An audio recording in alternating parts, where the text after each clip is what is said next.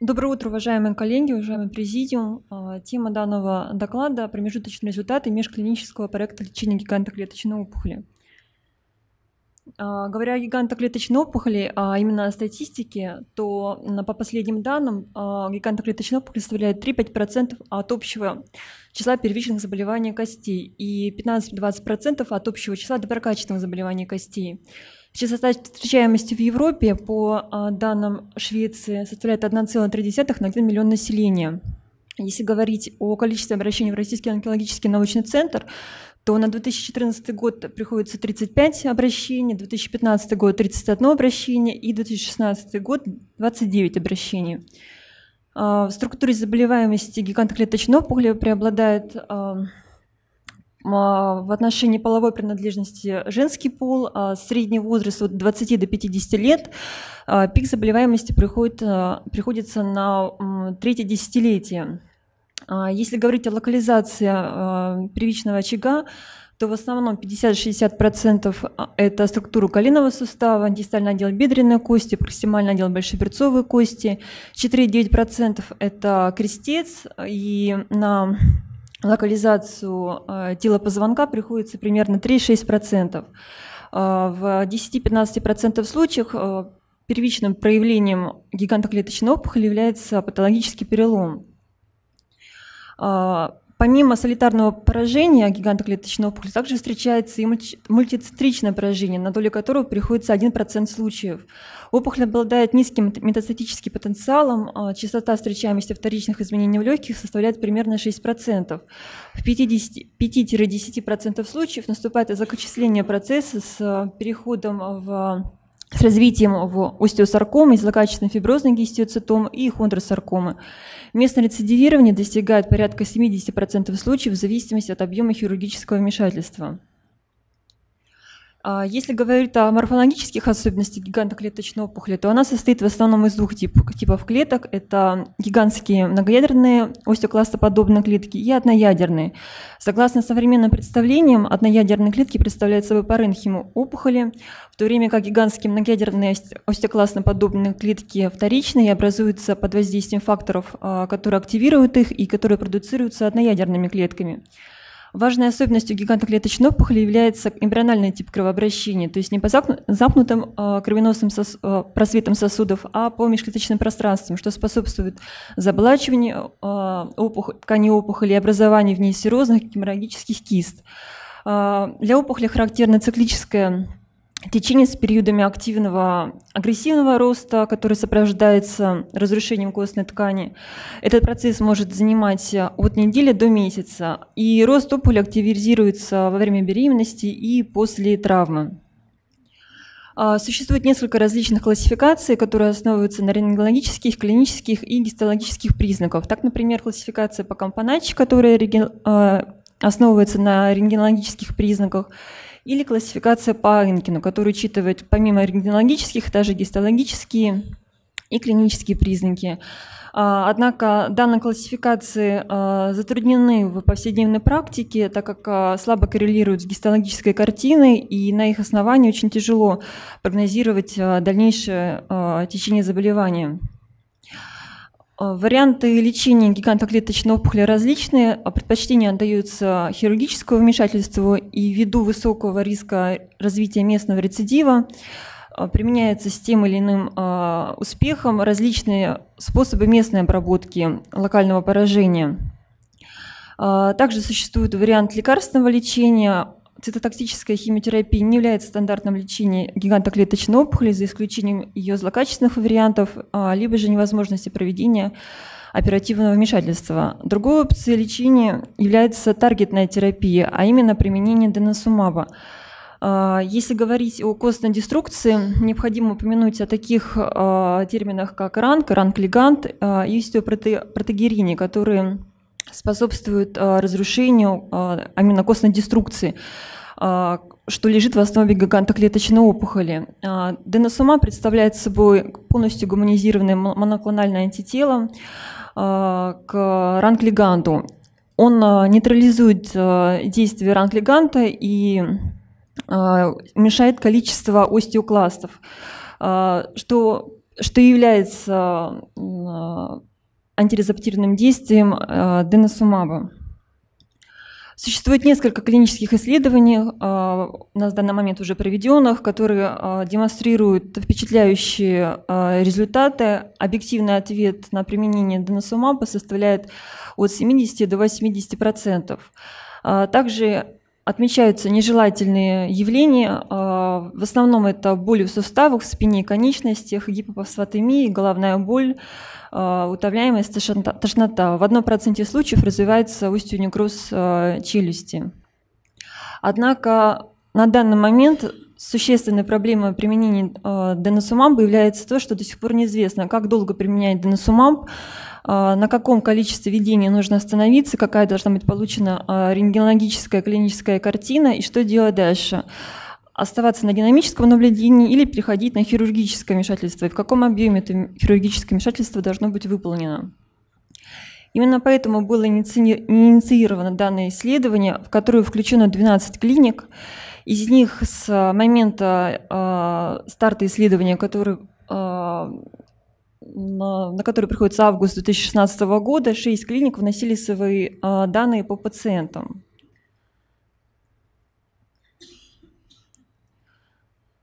Это Российский онкологический научный центр, Институт рентгенорadiологии, а, Институт имени Вредена, науч... Санкт-Петербургский научно-практический центр, а, Обнинск и Томск. С чего нужно было начать? Нужно было зайти на сайт ECG, а, а, Восточноевропейской саркомной группы, перейти на вкладку «Специалистам», выбрать раздел «Система учета пациентов», зайти в систему, либо зарегистрироваться, выбрать вариант а, для гигантоклеточной опухоли и вводить данные по своим пациентам. Помимо первичных данных, это данные о лечении и хирургическое лечение, и лечение деносумабом. Очень важно было вносить данные по результатам послеоперационного гистологического исследования, а именно степени патоморфоза лечебного. Как я уже сказала, с августа 2016 года по май 2017 года, а именно тогда мы сделали первый срез а, а, по нашему исследованию в базе данных было зарегистрировано 63 пациента, большинство пациентов из Российского онкологического научного центра, 12 пациентов из Обнинска, 3 пациента из Санкт-Петербурга, 5 пациентов из а, рентгенрадиологии и один пациент из Томска. А, если говорить отдельно по клиникам, то из а, Российского онкологического научного центра зарегистрировано 42 пациента. Что касается локализации, то это в основном дистальный отдел бедренной кости, проксимальный отдел большеберцовой кости. И третье место между собой делит а, кости таза, это крестец крестово-подвздошное сочленение, подвздошная кость и дистальный отдел лучевой кости. А, если говорить о эпидемиологических данных, а, то а, средний возраст пациентов составил 35 лет, от 21 до 70 лет. В основном преобладали мужчины. Пациенты прибывали из Центрального федерального округа, из Приволжского федерального округа, Южного федерального округа, Дальневосточного, Северокавказского, из Крыма два пациента и по одному пациента из Ханты-Мансийска и Узбекистана. Из 42 пациентов, 2 пациента, 2 случая с злокачественным вариантом гигантоклеточной опухоли, в обоих случаях без вторичных изменений, 4 случая с вторичными изменениями, 3 это метастазы в легкие, 1 с, с метастазами в лимфоузлы средостения. И в 14% случаев был зарегистрирован, была зарегистрирована угроза патологического перелома. Из них э, 5 случаев дистальный отдел бедренной кости. А, что касается предыдущего лечения, практически 70% а, пациентам, а, пациентов диагноз гигантоклеточной опухоли был установлен в Российском онкологическом научном центре. Один пациент обратился с, с нестабильностью протеза, и в остальных случаях это 26% пациенты с признаками рецидива. 9 случаев первый рецидив, и 2 случая это второй рецидив. Метастазы в легкие, метастазы два пациента, у одного метастаз в легкие, у другого метастаз в лимфузы средостения. Что касается предыдущего лечения у данных пациентов, в 50% случаев это была экскафиляция с пластикой дефекта костным цементом. Данные пациенты, 42 пациента, как повторюсь, были разделены на три группы. В первую группу вошли пациенты только получающие деносумаб на данный момент, а, либо уже которые завершили лечение. А, из них 40% а, это пациенты с признаками рецидива, один случай с злокачественным вариантом гигантоклеточной опухоли, три случая с вторичными изменениями. Среднее введение деносумаба составило 14 инъекций, максимальное 32. 13 пациентов получали лечение непрерывно. В одном случае было подозрение на некроз нижней челюсти, но на фоне 20 введений деносумаба, но после проведенных а, дополнительных исследований а, данное осложнение было исключено.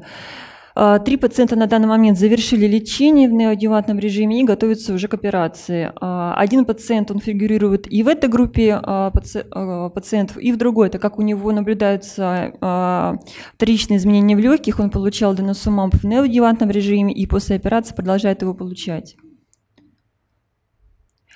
Другая группа пациентов – это пациенты, которые получали э, деносумаб неодневантно и которым было э, проведено хирургическое вмешательство. Это 12 пациентов, из них с вторичными изменениями один пациент, про которого я уже говорила.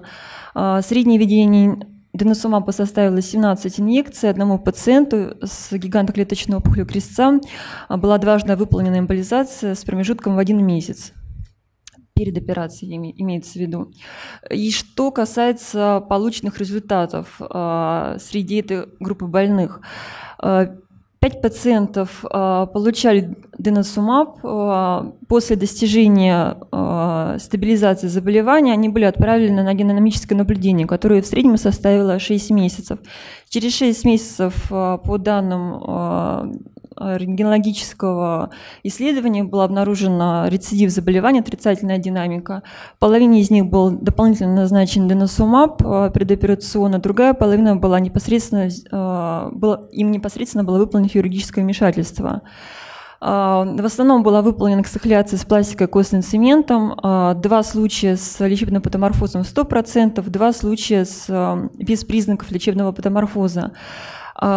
Один случай, пациент получал деносумаб 15 инъекций, на 15, э, после 15 инъекций было проведено контрольное исследование, по данным которого была зарегистрирована отрицательная динамика. Пациенту сразу же пациент был взят, э, взят на хирургическое лечение, ему была выполнена эксхляция с пластико-биокомпозитным материалом, и лечебный патоморфоз составил 100%. Стоит отметить, что до этого 12 введений, это практически 9 месяцев, у пациента сначала наблюдалась положительная динамика, а затем стабилизация процесса.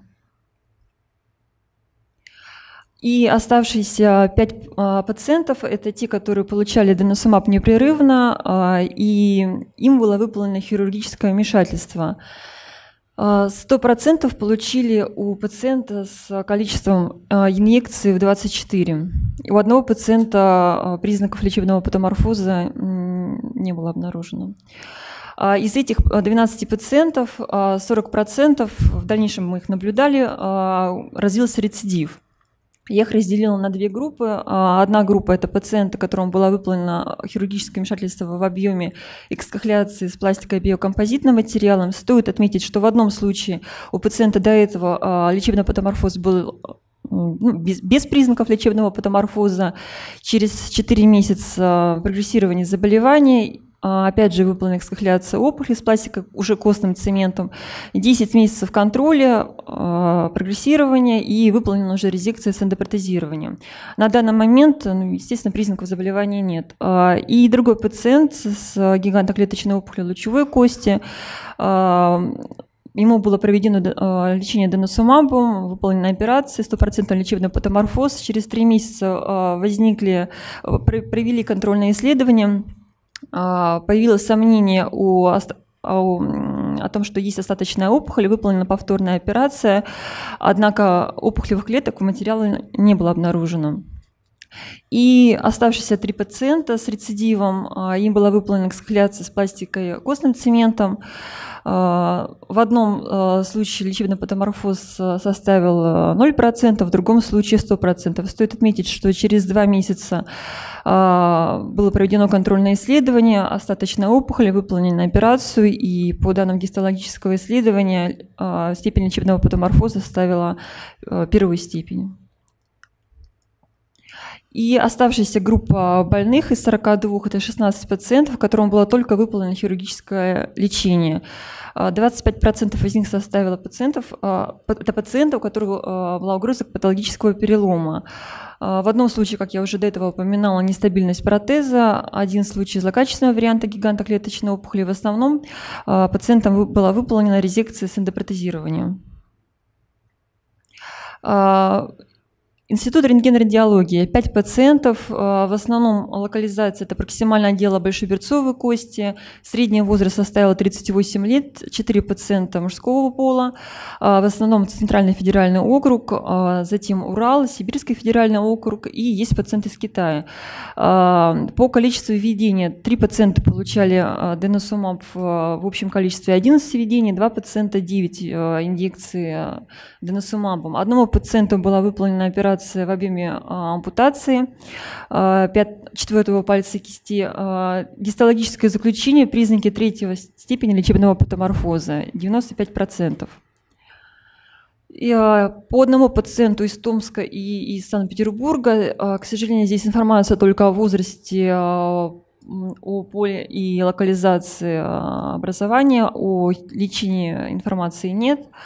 Два пациента из клиники Моисеенко, точно то же самое, возраст, пол, локализация. Есть информация о том, что пациенту было назначено лечение в декабре и в январе, а, но затем информация о том, а, на каком, в каком состоянии сейчас эти больные, что, что им было дальше приведено, была ли операция, данной информации нет.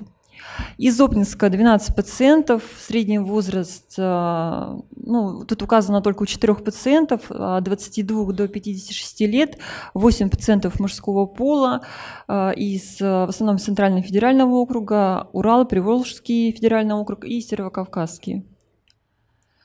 Суммируя общие данные по 63 больным, в основном локализация приходит на большеберцовую кость и на бедренную кость.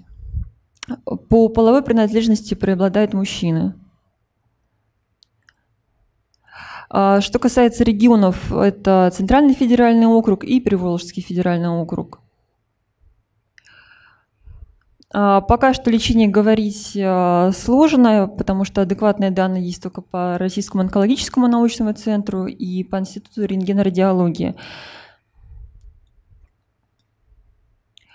И выводы следующие. Из заявленных клиник, 12 а, клиник, только 6 вводили данные о своих пациентах, при, при этом адекватные данные именно Э, о том объеме лечения, которое было им выполнено, э, есть только от двух клиник. Это Российский онкологический научный центр, Институт рентгенрадиологии.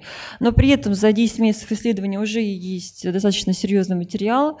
Э, стоит отметить, что данное исследование будет проходить до августа 2018 года, по окончанию которого будет написана очень такая большая серьезная статья.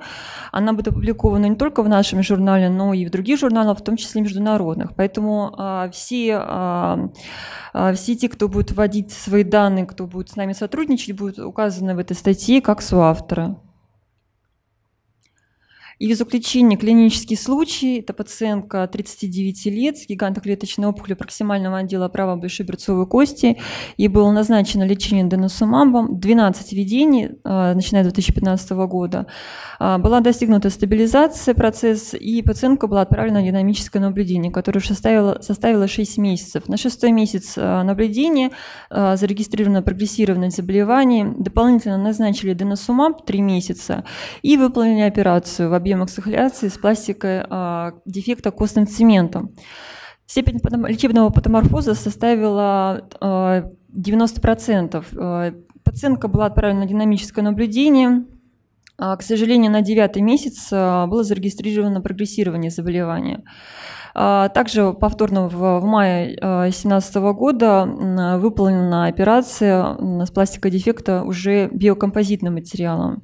И рентгенологические картинки – это первое до начала лечения, после 6 введений – это 3 месяца, после 12 введений – это 9 месяцев, после чего мы отправили на динамическое наблюдение.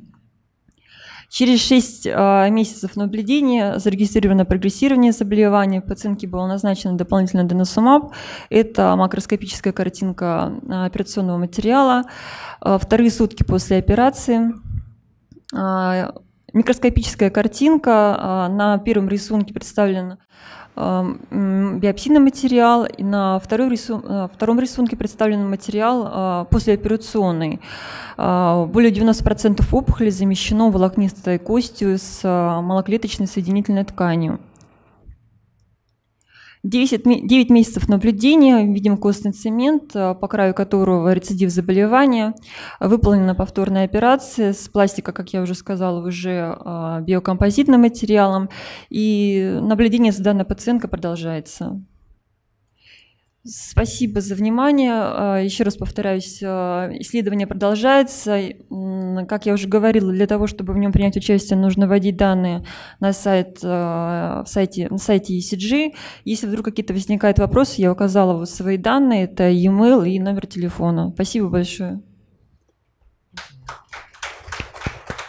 Спасибо, Анастасия Алексеевна. Мне уже стыдно. Завтра я со своими коллегами проведу работу, потому что мне говорят, что внесено 5 вот, оказалось, что все-таки два. Но вместе, Анастасия Алексеевна, но вот эта тема, это, наверное, один из тех случаев, где мы идем в ногу с зарубежными нашими коллегами. А, действительно, никто не знает ни сроки введения денусумаба, никто не знает, с чего начинать, с оперативного лечения, не с оперативного лечения. Стоит ли а, проводить лекарственную терапию, потом наблюдать, или стоит провести лекарственную терапию, сразу оперировать. Э, как отслеживать? Только рентгенологическим контролем, либо все-таки э, производить повторную биопсию с целью оценки вот этих кластерных систем. В связи с этим, конечно, речь идет о российском, как бы таком достаточно хорошем проекте. Ваши планы, представления, это где-то на зарубежных каких-то конференциях, это ESMO, может быть, АСКО. И в связи с этим, Какие ответы вы ожидаете от этой работы увидеть? Вот глобально. А, Виталий Викторович, спасибо большое за вопрос. А, да, безусловно, мы планируем, а, как я уже сказала, сделать такое красивое исследование, написать хорошую статью. И если, конечно, получится, то хотелось бы выступить, как вы сказали, уже ЭСМО, может быть, АСК получится, я не знаю.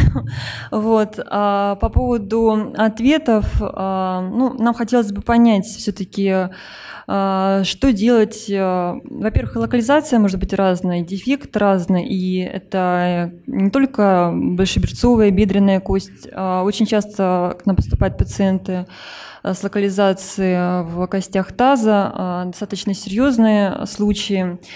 Поэтому хотелось бы на основании этих исследований все-таки понять, что с ними делать, как, э, как долго их лечить, потому что э, есть, э, вот я показывала, и максимальное введение было 35 инъекций деносумаба.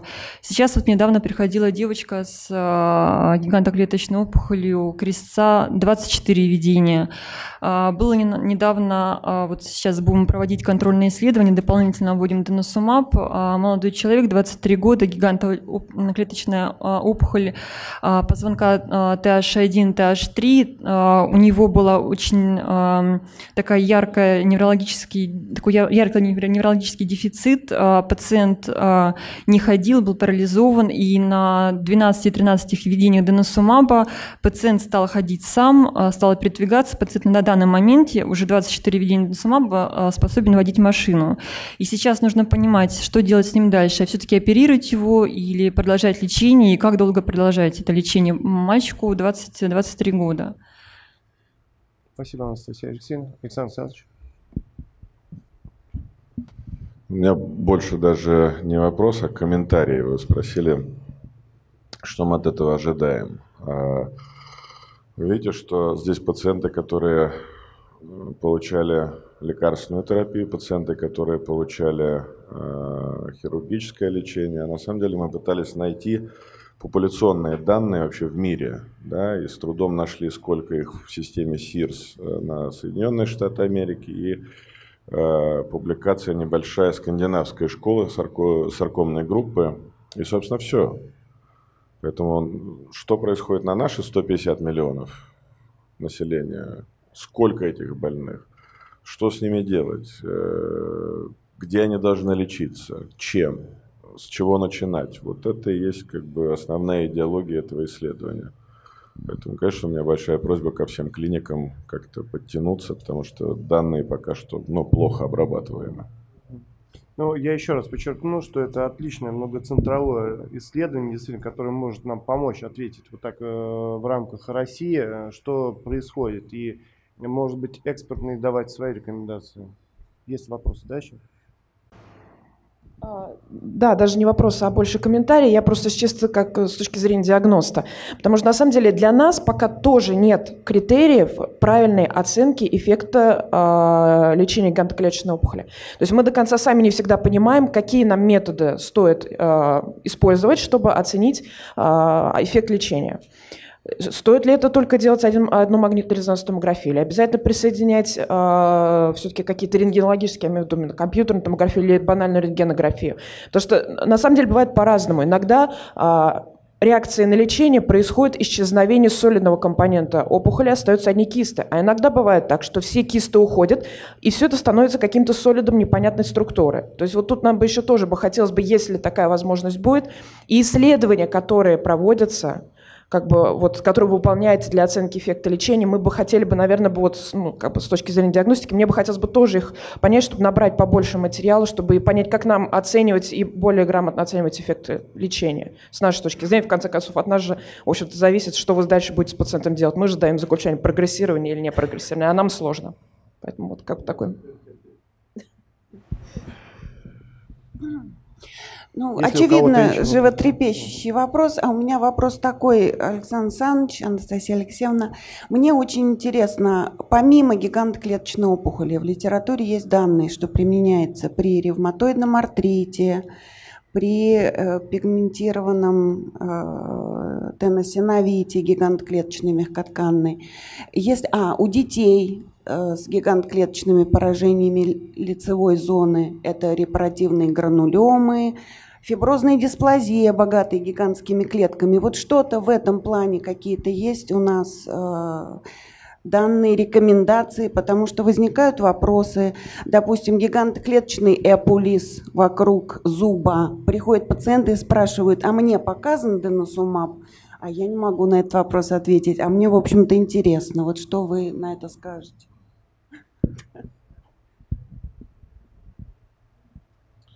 Но э, такие доброкачественные процессы как бы не входили в зону наших интересов, но, насколько вы знаете, исходно препарат был разработан для женщин э, в постклимактерическом периоде с э, нарушением плотности костной ткани. И отсюда, соответственно, э, наверное, достаточно большой спектр использования его и опыта в неких нарушениях э, остеогенеза. Это, наверное, лучше спросить э, не онкологов. Вот у меня таких данных нет, но я с вами согласен, что есть ряд работ, которые описывают использование этого препарата при э, разных формах, при разных вариантах, так сказать, нарушения остеогенеза. Мы, например, в клинике используем там, ту же замету при э, эндопротезировании с точки зрения профилактики вот именно в зоне стояния там, шейки эндопротеза, ножки эндопротеза. Э, что лучше, деносумаб или залидроновая кислота, не могу вам сказать. Так же, как э, и в плане профилактики остеопороза в постклимактерическом периоде.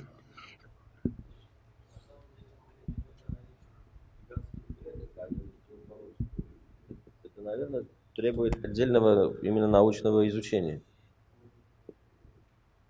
Потому что и стеносиновеид, и та патология, связанная с зубом, это наличие гигантских клеток, не остеопороза. Я правильно понимаю? Спасибо. Спасибо большое, Анастасия Алексеевна. Позвольте перейти к следующему докладу. Да, пожалуйста. Александр Александрович, Анастасия Алексеевна, спасибо за доклад. Вот хотелось бы услышать, э, выработаны ли более четкие критерии э, для тактической, допустим, выбора операции, либо это внутриочаговая резекция с деносумабом, либо это э, протезирование вот для костей, образующих коленный сустав. Вот здесь представлены были эти слайды, что-то более четко определились или нет?